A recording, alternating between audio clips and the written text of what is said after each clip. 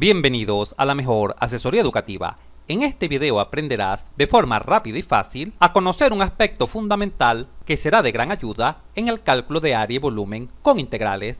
Como todos sabemos, debemos dibujar, antes de plantear la integral, las regiones encerradas por varias curvas. Por lo tanto, es fundamental conocer el comportamiento gráfico de las funciones elementales que explicamos en el video inmediato anterior. ¿Te has perdido de ese genial y corto video donde explicamos las funciones más comunes que aparecen en el cálculo de área y volumen con integrales?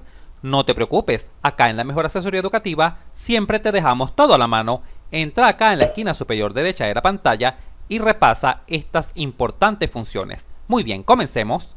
Existen dos tipos de traslaciones en las funciones, la traslación vertical y la traslación horizontal. Ahora bien, ¿cómo sabemos cuando una función se traslada en forma vertical? Cuando a la función original se le suma o se le resta una constante. Ahora bien, cuando se le suma, la función se desplaza verticalmente hacia arriba. Pero cuando se le resta una constante a la función original, la función se desplaza verticalmente hacia abajo. Ahora veamos la condición de cuando existe traslación horizontal. Acá se visualizan las condiciones. Cuando al argumento de la función se le resta una constante, la función se desplaza horizontalmente a la derecha, mientras que cuando al argumento de la función se le suma una constante, la función se desplaza horizontalmente a la izquierda. Veamos algunos ejemplos para comprender mucho mejor esta idea. En la parte superior de la pantalla se muestra un resumen de lo mencionado. Comencemos con la recta. En el video anterior, el cual ya te comenté, observamos varias funciones elementales. La primera de ellas es la recta y igual x. Acá se visualiza su gráfico en rosado es una recta que pasa por el origen de coordenadas. Ahora bien, cuando se le suma una constante, observa cómo la recta se desplaza verticalmente hacia arriba, cortando al eje Y exactamente acá en 1, pero al mismo tiempo la recta se traslada a la izquierda, cortando al eje X acá exactamente en menos 1.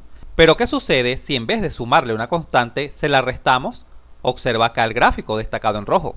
Cuando le restamos una constante, la recta se desplaza horizontalmente a la derecha, cortando al eje X acá en 1.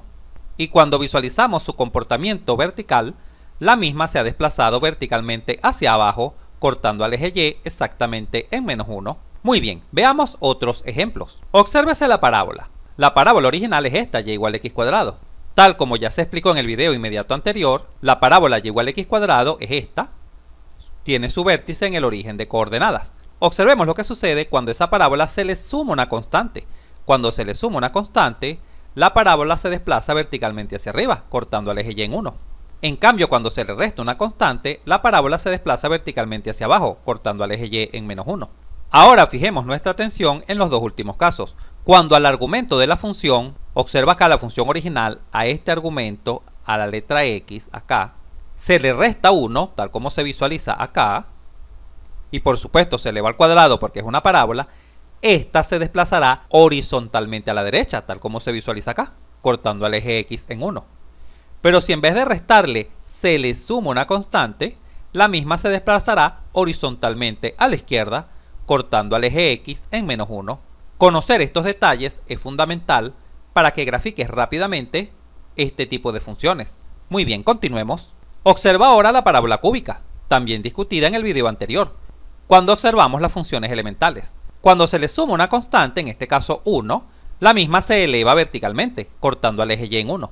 Pero cuando se le resta una constante, la curva desciende verticalmente, cortando al eje Y en menos 1. Mientras que cuando al argumento se le resta una constante, la curva se desplaza horizontalmente a la derecha. Y cuando se le suma una constante al argumento, la misma se desplaza horizontalmente a la izquierda, Ahora estamos en presencia de la función exponencial e a la x.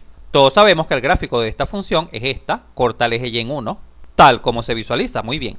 Si a la función se le suma una constante, la misma se desplazará verticalmente hacia arriba, cortando al eje y en 2. ¿Por qué corta el eje y en 2? Porque originalmente lo cortaba en 1, recuérdalo. Y si se desplaza hacia arriba una unidad, debido a que se le está sumando 1, 1 más 1 es igual a 2. Y ahora su asíntota horizontal, que originalmente era el eje X, ahora va a ser la recta y igual 1. La recta y igual 1 sería la asíntota horizontal de esta función. De manera semejante, cuando se le resta una constante, la misma se desplaza verticalmente hacia abajo, cortando al eje Y en 0. Claro, si originalmente cortaba el eje Y en 1 y se desplaza una unidad hacia abajo, lógicamente ahora cortará el eje Y en 0 y su asíntota horizontal será la recta Y igual menos 1, tal como se visualiza acá. Ahora bien, cuando es al argumento quien se le resta una unidad, la curva se desplaza horizontalmente a la derecha, cortando al eje Y exactamente en E a la menos 1, tal como se visualiza. Mientras que cuando al argumento se le suma una constante, la misma se desplaza horizontalmente a la izquierda, cortando al eje Y, acá, exactamente en E. Genial, continuemos. En pantalla ahora visualizamos la función original módulo de x. Veamos ahora cómo queda el gráfico en sus diferentes traslaciones. Cuando se le suma una constante, el gráfico de la función módulo se desplaza verticalmente hacia arriba, tal como se visualiza acá en verde. Pero cuando se le resta una constante a la función módulo, la misma se desplaza verticalmente hacia abajo.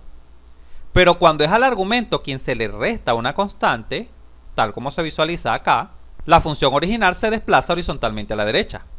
Y cuando se le suma una constante, la curva original se desplaza horizontalmente a la izquierda muy bien, finalicemos el video con este breve repaso de las funciones elementales más comunes para el cálculo de área y volumen con integrales. Observamos ahora la función trigonométrica seno. Lo que vamos a aplicar a continuación sucede de manera semejante para el resto de las funciones trigonométricas. Obsérvese acá la curva original de la función seno. Pasa por el origen de coordenadas y tiene esta forma.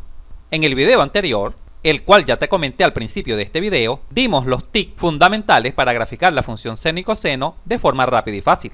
Te garantizo que esos consejos no lo has visto en ningún otro video. Te invito a que lo mires para que verifiques lo que te estoy diciendo. Muy bien, observemos el primer caso. Cuando a la función seno se le suma una constante, esta función suele escribirse también así. ¿Qué sucede? La curva original se desplaza verticalmente hacia arriba tal como se visualiza acá.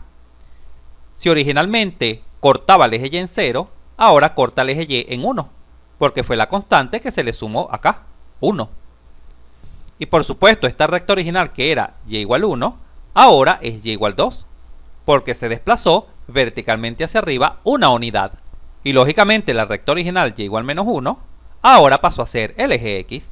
Veamos lo que sucede cuando la curva se traslada verticalmente hacia abajo. Acá lo visualizamos.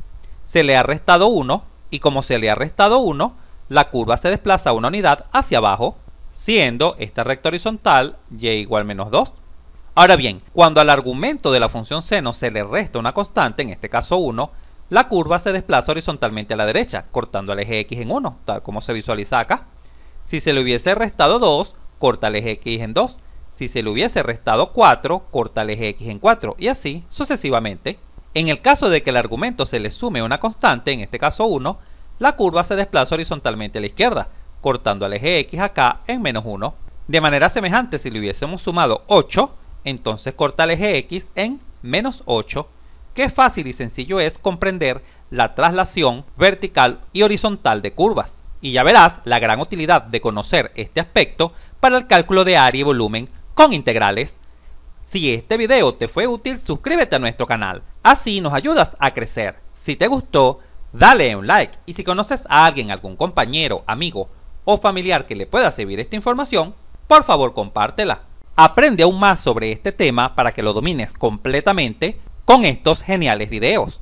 Y si quieres el desarrollo completo de este tema, suscríbete a nuestro canal y disfruta de nuestra lista de reproducción dedicada completamente a este tema